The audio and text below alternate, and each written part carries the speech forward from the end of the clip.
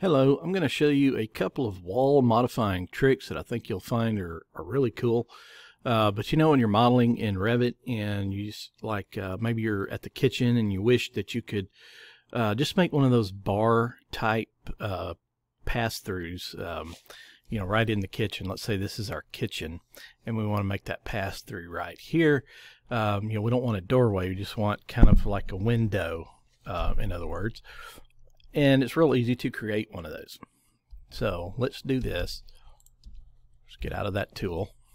And uh, first thing I'll do is I want to put a section view right through here so that I can see that. I'm just going to move the one that I already have. And then double click on it. And right over here is the wall that I'm talking about doing this with.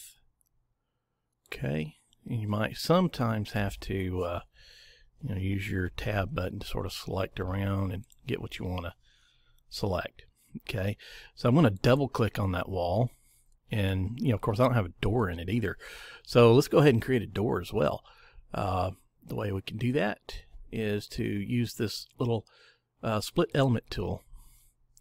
And I'm just going to put a little notch in the wall right there. And then I'm going to get out of that tool. And I'm going to drag that line that way a little bit and this line this way. Now this isn't going to be an actual door, it's just going to be a passageway.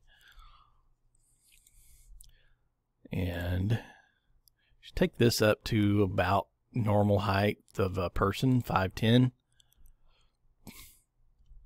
And then come and do the other side. Now I haven't even checked to see if this is the appropriate width or not. Maybe it is, maybe it isn't. But this is how you do it. Just make sure you have the appropriate width. And then I'm going to choose the arc tool I'll make an arc here, and you can make that arc uh, tangent or anything below that or even above that if you want something like this. Okay, but let's just go down. Let's do something like that. All right, now we want to pass through right over here. Uh, we're going to actually build a bar on it, like a little bar place where you can sit and have your breakfast and what have you. So I'm going to go to the line tool and just pretending there's cabinets and a stove and all that kind of stuff over here. I'm just going to draw this rectangular pass through and I'm actually going to put an arc on the top of it as well because I just like things that way. Okay so lift it up like that and then click your check mark save the project and let's just go check things out in 3D see what happens. Okay so there you are. There's the uh, the pass through and we can hide this we can get a better look at it. Okay, there you go. As simple as that. All right. Now, another thing you might want to do, like in the front of your home, is you might want like a really nice entryway and kind of uh, even like a covered porch area. There's ways you can do that, uh, tons of different ways. I'm going to show you this one. Um, I'm going to go to my south view. So I'm looking at the front and I'm going to edit this wall. Okay, so I want to kind of show off my door and I'm going to create a doorway right here. Of course, I got to split first. So I'm just going to split it right there in the middle of that door. I'm going to drag the line just a little bit to the sides of the door. All right, then I'm going to have two vertical lines, and on this one, I'm just going to take these all the way to the top of the door.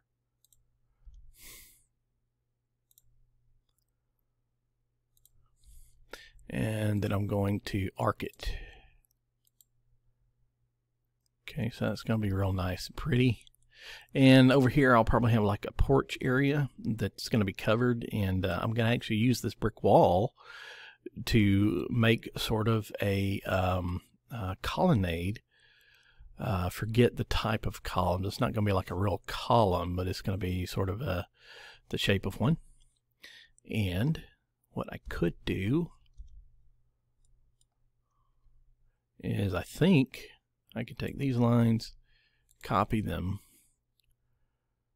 and let's just kind of go in here somewhere. And let's place one here. I should have hit multiple. My bad. Copy. Let's go and multiple. I might put a third one in there. And I don't really have room for a third one. But if I would have planned that out better, uh, I could have done that.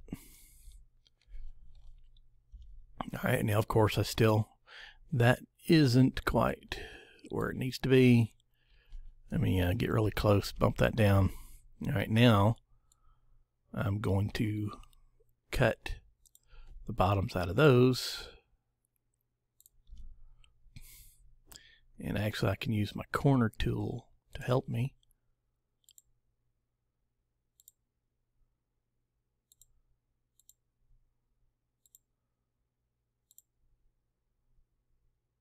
Oops, I cut the wrong thing out.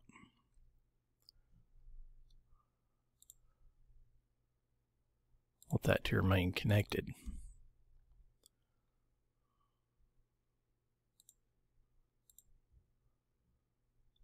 All right, corner tool's not one to behave, so let's just do that.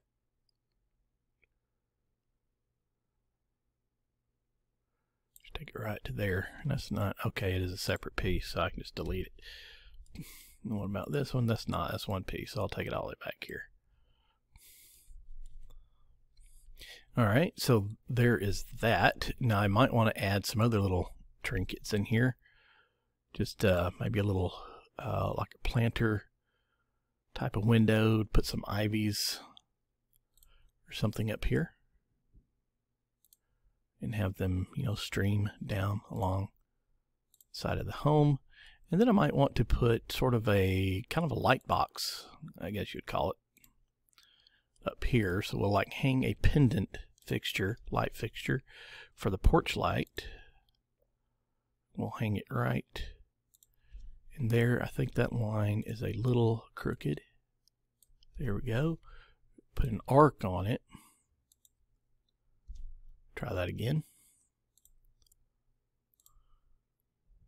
And, you know, in this case, I'd probably want to match it up with the arc on the over the door as well. So there's a whole lot of holes I've got. Click, and then, you know, we have all those.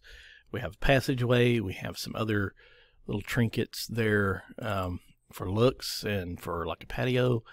And uh, this will be really cool uh, here, having like three of these across and come over here and put one there as well.